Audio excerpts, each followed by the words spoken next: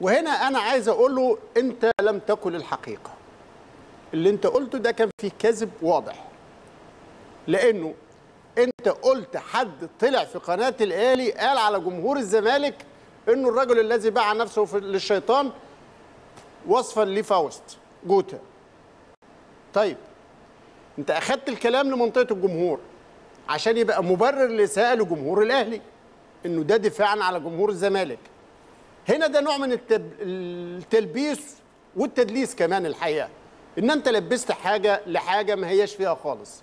لأنه اللي حصل اللي اتقال هنا في قناة الأهلي يا دكتور علشان تكون عندك القدر الكافي من الأمانة اللي قاله المهندس عادل القيعي أحدهم. أحدهم في قناة الأهلي. هنسمعه لك تاني. وهات لي كلمة جمهور الزمالك. اللي أنت برضو معاك حق تدافع بس لما يكون حصلت الإساءة وهجي لك على الفرز الاجتماعي غير الأخلاقي اللي أنت استخدمته. بس خليني الأول أفكرك وأفكر كل المشاهدين هو المهندس عادل القيعي استخدم فاوست إزاي المرة اللي فاتت اللي أنت لبستها لجمهور الزمالك؟ بسم الله الرحمن الرحيم. أهلا بكم أعزائي مشاهدي قناة الأهلي في برنامجكم ملك وكتابة. لمن يريد أن يفهم المشهد اسألوا فاوست. إبراهيم.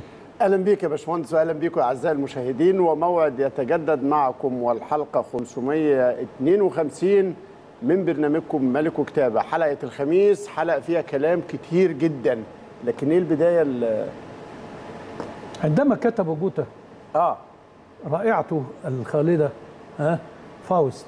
يس الرجل الذي باع نفسه للشيطان لتحقيق مآربه ونجاحاته. للشيطان. آه هي.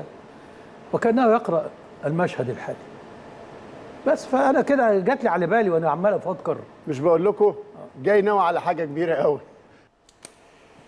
ده اللي جه على بالي ده كلام المهندس عدلي فاوست والرجل الذي باع نفسه للشيطان وقال لك اللي يتأمل المشهد الرياضي يتذكر كده. قاصدا شخصا بعينه قاصدا المشهد بعينه. فين جمهور الزمالك في الموضوع؟